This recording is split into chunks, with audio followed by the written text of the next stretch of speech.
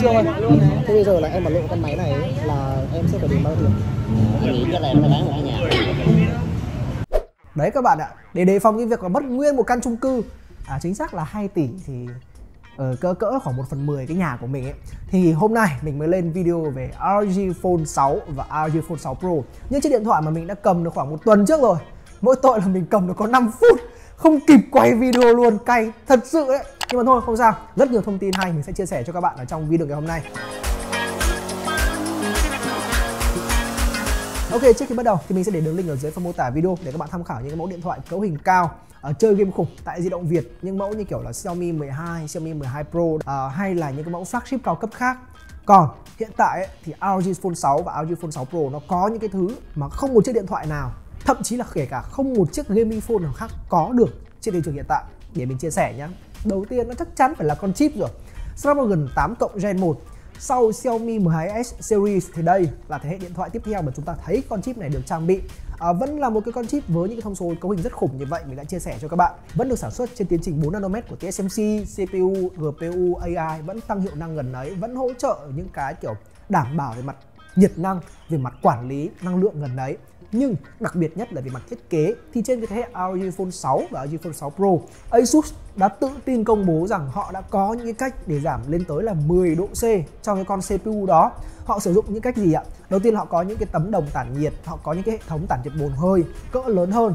Họ có thiết kế con chip đặt ở trung tâm của máy nhé để có thể là tản nhiệt đều ra hai cạnh, cũng như là sau đó các bạn À, thường là mua trong hộp các bạn sẽ được tặng kèm một cái cái cái cái quạt tản nhiệt ờ, uh, RG Aero Cooler đúng không? Các bạn ốp thẳng vào giữa máy đấy thì nó đặt ngay phía trên con chip để hỗ trợ tản nhiệt tốt hơn nữa. Rồi họ cũng có những cái hệ thống uh, keo tản nhiệt hay là những cái tấm tản nhiệt để có thể tản nhiệt lên phía trước, tản nhiệt lên phía trên màn hình ấy. Đại loại là con chip đó được tản nhiệt cực kỳ tốt. Thì cái này mình tin Asus nha.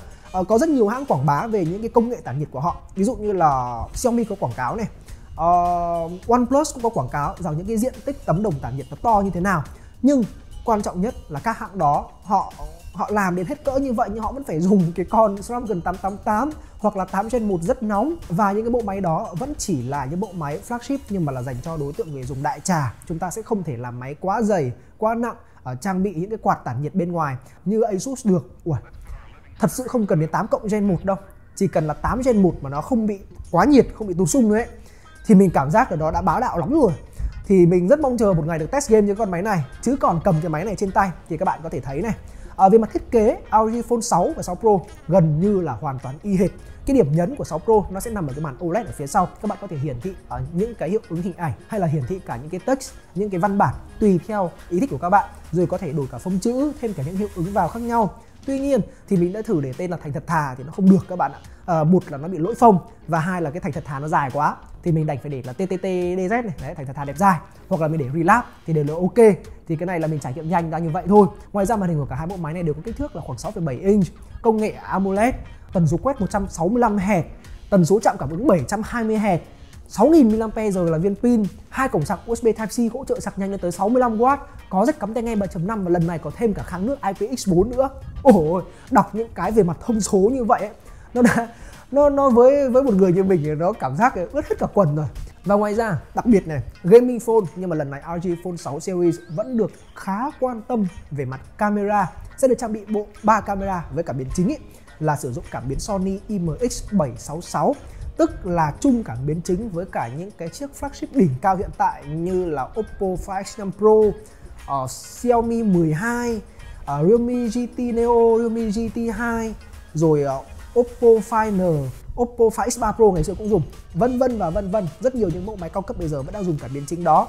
Uh, tuy nhiên mình cũng đã có trải nghiệm qua cái camera này trong một khoảng thời gian nhất định thì mình thấy rằng cái chất lượng hình ảnh hay là cái khả năng xử lý hình ảnh của bộ máy này nó vẫn ở một cái ngưỡng nó ngon hơn gaming phone thông thường à, nó ngon hơn con lg Phone 5 đời trước nhưng nó chưa thật sự là có khả năng xử lý HDR, khả năng tái tạo chi tiết tốt được như những cái mẫu kiểu Oppo Find X5 Pro đâu thì những cái mẫu máy kia họ chấp nhận dùng chip cũ nhưng mà họ dùng thêm cả một con chip Mali Silicon X để xử lý hình ảnh thì làm sao mà lg Phone nó cạnh tranh được đúng không?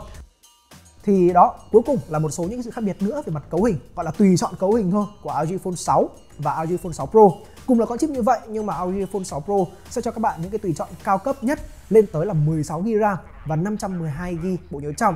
Còn LG Phone 6 thì các bạn sẽ có những cái tùy chọn uh, thấp hơn về RAM ví dụ như là 12GB RAM hay là 16GB RAM rồi có những cái tùy chọn 256GB bộ nhớ trong hoặc là 512GB bộ nhớ trong đều là chuẩn UFS 3.1 rất là nhanh nữa. Thì đó chốt lại chúng ta có được cái gì từ sự kiện ra mắt ROG Phone 6 series lần này? Đó là thứ nhất mình rất cày cày qua thì lại được cầm máy sớm nhưng mà được cầm đúng 5 phút. Hôm đấy là mình đi cà phê với bên Asus các bạn ạ. Mình đi sự kiện của Asus nhưng mà là dòng laptop ấy. Mình hôm trước mình chia sẻ với các bạn rồi đúng không? Rất nhiều những cái mẫu laptop uh, Intel Gen 12 ra mắt. Nhưng mà đến đúng 5 phút trước khi mình ra máy bay thì cái máy đấy mới ship từ từ Đài Loan hoặc từ một nơi nào đó về thành phố Hồ Chí Minh. Do đó thì mình được cầm ghé một tí rồi cày thật sự em ghim các anh chị Asus nhá.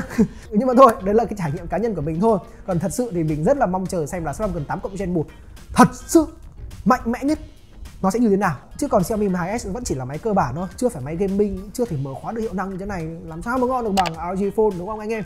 Ok, các bạn nghĩ gì? Đừng quên để lại comment ở bên dưới nha. Xin chào và hẹn gặp lại.